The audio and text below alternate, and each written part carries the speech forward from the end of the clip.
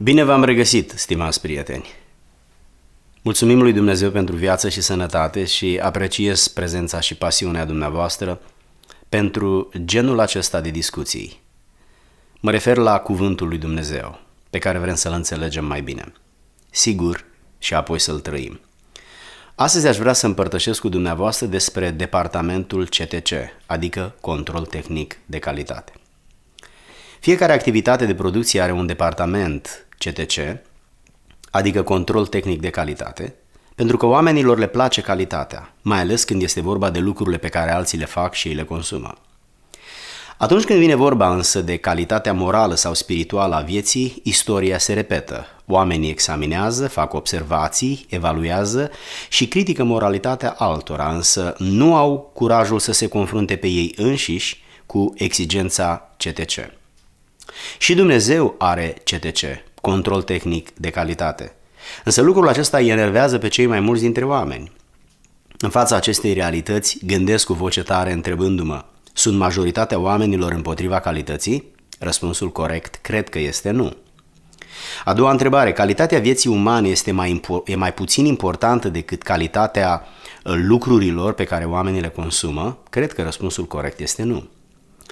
A treia întrebare, Dumnezeu este singura persoană care nu are dreptul la exigență și controlul calității? Nu. De ce atunci când noi evaluăm și contestăm lipsa de calitate a oamenilor, trecem drept eroi, iar când Dumnezeu face lucrul acesta, trece drept un Dumnezeu rău? Trebuie să acceptăm faptul că fiecare departament CTC are un cod tehnico-legal pe care îl folosește pentru evaluarea exigenței minime cu privire la produs ca să fie acceptat sau nu. Atunci când vorbim despre CTC-ul vieții moral-spirituale, trebuie să acceptăm că Biblia este etalonul divin, cartea universală acceptată în mediul creștin. Pentru a înțelege suficient de bine introdus, ă, subiectul pe care l-am introdus, aș vrea să luăm drept exemplu din Biblie pilda talanților. Mai întâi o să definim termenii. Pilda sau parabola este o întâmplare imaginară cu un singur adevăr central, în contextul obiceiurilor și culturii vremii, spusă după tiparul de gândire al oamenilor. Talentul este o unitate de măsură a greutății monedelor, a cărui valoare este 49 de kilograme în aur și 43 de kilograme în argint. Adică salariul unui om pentru 16 ani de muncă. Un talent are 6.000 de dinari, în timp ce un dinar este plata unui om pentru o zi de muncă. Pilda talanților prezintă un om bogat și a trei dintre angajații lui. Plecând într-o țară îndepărtată, stăpânul, acest om bogat, împarte averea sa la trei dintre angajați. Primului îi dă cinci talanți, celui de-al doilea îi dă doi talanți și ultimului îi dă un talent. După o vreme îndelungată se întoarce și cere socoteală celor trei angajați despre felul în care a administrat și a investit averea sa. Biblia menționează că fiecăruia i-a împărțit din averea sa după puterea pe care o avea angajatul. Atunci când stăpânul se întoarce și cere socoteală, cel care a primit cinci talanți îi dă stăpânului încă 5 talanți ca investiția pe care a obținut-o. Cel care a primit 2 talanți îi dă înapoi încă 2 talanți ca rezultat al investiției. Asta înseamnă că fiecare dintre aceștia doi a dublat suma primită, iar profitul a fost de 100%. Ultimul, cel care a primit doar un talent, îi dă stăpânului talentul pe care l-a primit – pentru că l-a îngropat în pământ, el nu a făcut niciun profit. Stăpânul este Dumnezeu. Robii sunt oamenii. Talanții sunt darurile, capacitățile și oportunitățile vieții. Iar ziua socotelilor este sfârșitul veacurilor. Pentru noi în această seară este sfârșitul anului 2013. Atunci când citim cu atenție pilda talanților, observăm principiile împărăției lui Dumnezeu. Primul dintre ele, Dumnezeu cheamă pe fiecare om să slujească. Al doilea, Fiecare om primește chemarea slujirii după puterea pe care el o are. 3. Dacă cineva nu vrea să slujească, scuzele pe care le invocă nu rezolvă problema. 4. Dumnezeu cere fiecăruia socoteală pentru slujirea la care a fost chemat. 5. Dumnezeu îl răsplătește pe fiecare după dreptate, după adevăr. 6. Dumnezeu pedepsește comoditatea și lenevia oamenilor care, indiferent de scuzele invocate, nu vor să lucreze pentru împărăție. Această întâmplare imaginară spusă de Mântuitorul Iisus Hristos ucenicilor săi are drept scop să învețe principiul de bază al împărăției cerurilor, adică responsabilitatea slujirii din dragoste cu privire la lucrările pe care Dumnezeu le-a încredințat. Uitându-ne la această pildă și încercând să desprindem în experiența noastră aflată la sfârșitul acestui an, uh, să desprindem gânduri care să ne ajute, să ne evaluăm slujirea față de Dumnezeu, uh, aș vrea să spun câteva lucruri, probabil două sau trei. Primul dintre ele. Responsabilitatea slujirii reflectă credința unui om. Toți oamenii își reclamă credința, însă testul este simplu. Responsabilitatea slujirii reflectă credința. Un om nu este mai credincios decât măsura de responsabilitate cu privire la slujirea pe care o face pentru Dumnezeu. Felul în care cei trei robi administrează uh, averea primită de la stăpân reflectă credința lor. Credința că Dumnezeu îți dă daruri și tot El îți cere socoteală, de felul în care le-ai administrat în folosul împărăției cerurilor. Stăpânul a plecat într-o țară îndepărtată. Primii doi au dat raport pentru slujirea lor. Al treilea a dat raport despre profilul stăpânului.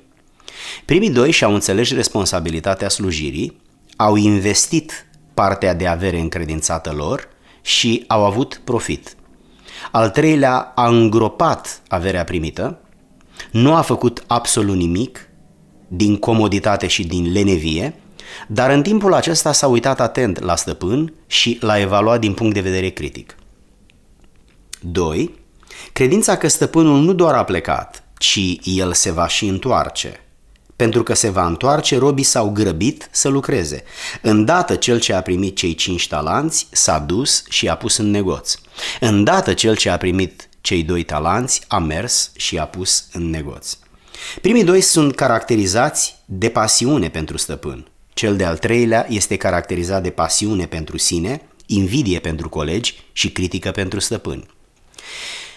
Aflându-ne în situația să finalizăm perioada aceasta de timp numită anul 2013, ne uităm probabil la profit, la ce am reușit să facem pentru familie, pentru instruirea noastră intelectuală sau profesională, însă în același timp nu putem să fugim atât de mult de Dumnezeu încât să nu ne gândim ce am făcut pentru El. Uh, invidia noastră pentru alții, indiferența noastră față de Dumnezeu sau poate critica, nu sunt scuze care să justifice faptul că nu am reușit să facem nimic pentru Dumnezeu. Credința că trebuie făcut totul pentru onoarea stăpânului a fost mentalitatea primilor doi care au pus uh, în negoț, care au investit averea stăpânului încredințată lor, în timp ce ultimul, cel de-al treilea, nu a făcut nimic. Este ușor de observat că primii doi au avut un profit de 100 de procente, în timp ce al treilea nu a avut profit deloc.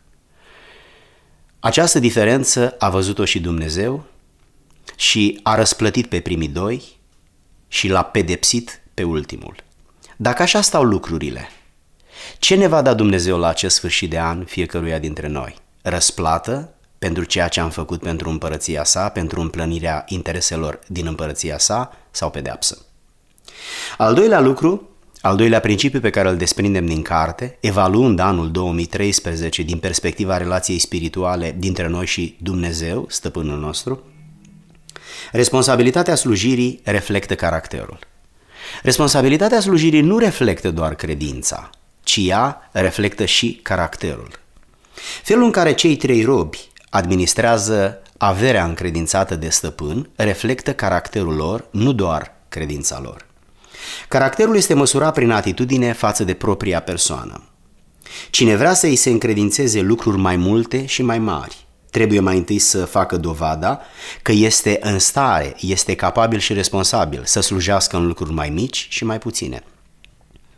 Dacă el nu are capacitatea să slujească cu lucruri mai mici și mai puține, ce fel de caracter va avea stăpânul care îi încredințează lucruri mai multe sau mai mari? Apoi, caracterul este măsurat nu numai prin atitudinea față de propria persoană, ci este măsurat și prin atitudinea față de stăpân. Al treilea rob a îngropat talentul în pământ, nevrând să-l investească. Ne gândim acum de ce a avut această atitudine. Sunt câteva răspunsuri probabile. Probabil din invidie. Cei doi au primit mai mult decât el. Există posibilitatea ca el să se fi supărat, să dezvolte un complex de inferioritate, să invidieze pe primii doi care au primit mai mult și să spună, păi dacă ei au primit mai mult, atunci ei să muncească. Dacă pe mine mă crede așa de slab și de nepriceput, oferindu-mi doar un talent în timp ce primul a primit 5 și cel de-al doilea 2, atunci eu nu o să fac nimic. O să mă port față de stăpân exact cum s-a purtat el față de mine. Dacă el m-a subapreciat și eu o să-l subapreciez. Probabil din nemulțumire. Dar ce eu nu pot administra decât un talent, numai atâta sunt eu în stare. Probabil din rușine. Ce o să zică lumea despre mine că eu am primit doar un talent, în timp ce colegii mei au primit dublu sau mai mult? Probabil din confort. Mai bine îmi văd de treabă și mă odihnesc. Probabil datorită priorităților greșite. În loc să-mi fac treaba mea, îmi pierd timpul cu altceva. Probabil că nu-l iubea pe stăpân. Fac ce vreau cu viața mea, nu mă, acup, nu mă apuc acum de afaceri care oricum nu sunt ale mele. Nu o să îmbogățesc eu pe altcineva. Cu siguranță pentru că îi era frică. Mi-a fost teamă, răspunde el stăpânului. I-a fost teamă de ce? Cu siguranță pentru că nu-l cunoștea pe stăpân. El spune, am știut că ești un stăpân aspru. Nu este adevărat că stăpânul este aspru. Dumnezeu nu este aspru. Dumnezeu este doar drept. Știu că ești oportunist, a spus el, seceri de unde n-ai semănat. Nu este adevărat, Dumnezeu nu este oportunist. Știu că trebuie să îți conservi ce este al tău și să nu am deloc de a face cu tine. Mi-ai dat un talent, ți-l dau înapoi. Al treilea principiu pe care vreau să-l prezint este responsabilitatea slujirii care reflectă răsplata. Ceea ce am vrut să surprind la acest sfârșit de an, stimați prieteni, este să stăm cu propria noastră conștiință înaintea lui Dumnezeu și să acceptăm faptul că responsabilitatea slujirii noastre reflectă credința noastră. Nu suntem mai credincioși decât lucrul care l-am făcut pentru Dumnezeu. Pentru că dacă a noastră credință ar fi fost mai mare decât este de fapt, iar s-ar fi reflectat printr-o responsabilitate și printr-o mai mare slujire. Dar cât de mare ne este responsabilitatea și slujirea, atât de mare este credința noastră. De asemenea, responsabilitatea slujirii noastre ne reflectă caracterul, propriul caracter.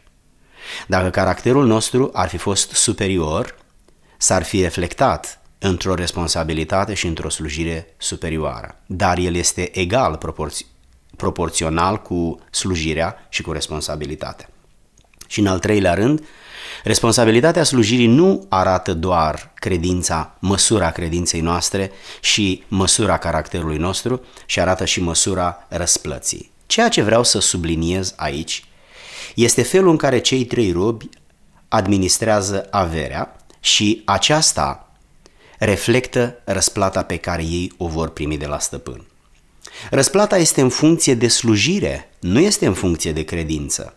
Mântuirea este în funcție de credință. Atunci când un om crede, el primește mântuire prin credința lui. Însă atunci când un om slujește, primește răsplată prin slujirea lui.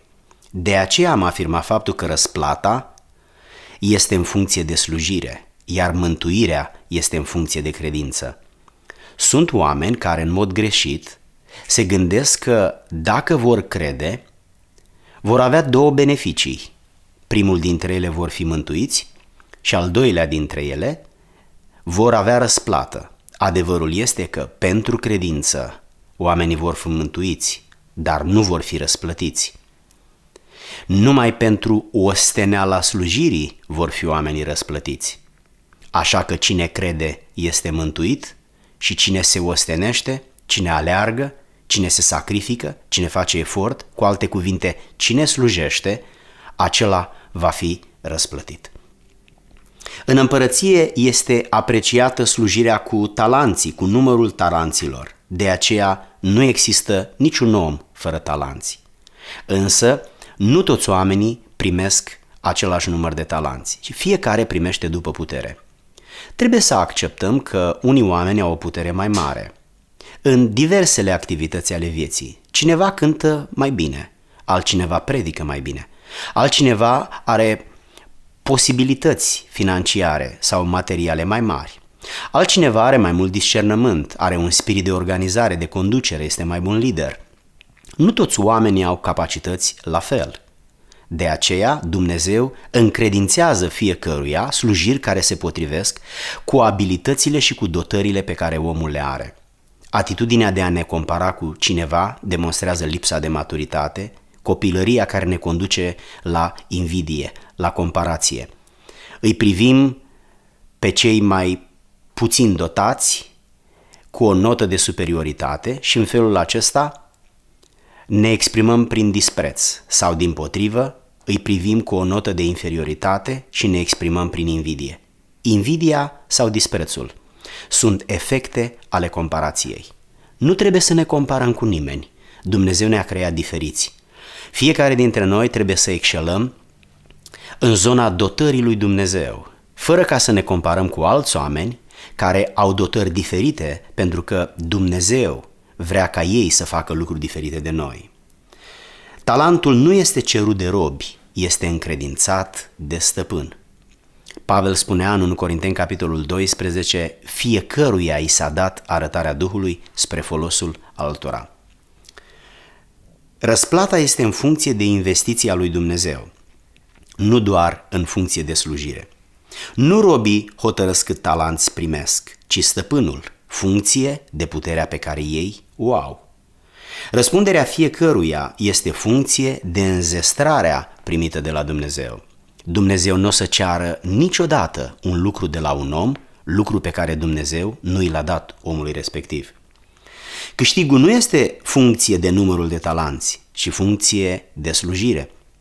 Cel care a primit cinci, dacă nu i-ar fi investit, n-ar fi, aude, n-ar fi avut de unde să-i dea stăpânului uh, câștig, dar pentru că i-a investit, a avut profit și el a fost mare, 100 de procente. Dar că cel care a avut un singur talent l-ar fi investit, ar fi avut și el o jumătate de talent sau un talent, adică un profit de 50% sau, ca și tovarășii lui, de 100%. Dar cine nu investește, nu are ce să câștige. Pierderea nu este în funcție de numărul de talanți, ci funcție de neslujire. Nu numărul de talanți aduce binecuvântarea sau blestemul, ci slujirea sau absența acesteia. Apoi, răsplata este diferită de mântuire, însă este foarte strâns legată de aceasta. Credința aduce mântuire, adică dragostea lui Dumnezeu în inima omului. Aduce viață din Isus Hristos în viața omului care prin credință și pocăință ajunge să fie născut din nou, din cuvânt și din Duhul lui Dumnezeu. Slujirea însă aduce răsplată, adică meritele ostenelii slujirii. Primii doi l-au iubit pe stăpân și din dragostea aceasta au lucrat pentru el, în ciuda dificultăților. Al treilea nu a slujit pe stăpân pentru că nu l-a iubit, nu a simțit nimic pentru el. Tocmai din acest motiv și-a permis irresponsabilitatea de a fi comod și leneș. Absența slujirii demască absența mântuirii, absența credinței. Nu vreau să spun neapărat că cine nu lucrează pentru Dumnezeu nu este mântuit. Vreau doar să spun că cine nu lucrează pentru Dumnezeu pune sub semnul întrebării propria lui mântuire. Nu cred că este posibil să-L iubești pe Dumnezeu și să nu ai interes pentru împlinirea intereselor împărăției sale. Cine îl iubește pe Dumnezeu va fi plin de pasiune ca să lucreze în via sa, să lucreze în împărăția sa. Își va găsi plăcerea să facă ceva pentru onoarea lui Dumnezeu. Cine își iubește soția va avea grijă de ea, îi va împlini nevoile, va încerca să-i facă viața mai ușoară. Cine nu iubește, nevoile ei îi sunt indiferente. El este ocupat și nu are niciun interes pentru soția lui. Absența slujirii demască absența credinței și poate chiar a mântuirii. Luați-l și aruncați-l în întunericul de afară, unde este plânsul și scrâșnirea dinților. Este aceasta imaginea unui om mântuit? Aruncați-l afară? Observați, rob bun și credincios, rob viclean și leneș. Cine este robul bun și credincios? Omul mântuit, prin credință, omul care slujește și va primi răsplat. Cine este robul rău și leneș? Omul care nu are credință și în consecință nici mântuie și omul care nu-L slujește pe Dumnezeu și în consecință nu va avea răsplat. În concluzie, aș vrea să vă aduc aminte de faptul că Adam a pierdut raiul și viața veșnică datorită neascultării. Însă cel de-al treilea angajat din pilda pe care am prezentat-o a pierdut-o din pricina leneviei în slujire. Am vrut în această predică să insist asupra faptului că prin ajutorul lui Dumnezeu am ajuns la finele acestui an. A fost un an mai ușor sau mai greu, în funcție de fiecare dintre noi. Însă, dincolo de asta, aș vrea să ne evaluăm și ostenelile care exprimă responsabilitatea, credința, caracterul și relația spirituală dintre noi și Dumnezeu și să vedem cât de multe lucruri am făcut noi acum pentru Dumnezeu. Am pus în negoț, am investit ceea ce Dumnezeu ne-a dat, l-am slujit pe Dumnezeu, am avut responsabilitate în slujirea aceasta sau am fost leneși și neroditori. Aș vrea să ne oprim înaintea lui Dumnezeu și acum, în pragul acestor sărbători, bucurându-ne de ele și de cei dragi, să ne întrebăm însă și ce am făcut pentru Domnul. El a investit în noi, ne-a binecuvântat, ne-a dat ploaie la vreme, ne-a dat soare să ne încălzim, ne-a dat sănătate, ne-a ascultat rugăciunile, nu ne-a lipsit nimic și nu ne-a rămas cu nimic dator. Ce am făcut noi pentru el? Cât de mare este profitul pe care noi l-am produs pentru împărăție în investiția ostenelilor, a slujirii și a responsabilităților noastre? A mai trecut un an din viața noastră. Ce a câștigat Dumnezeu din anul acesta?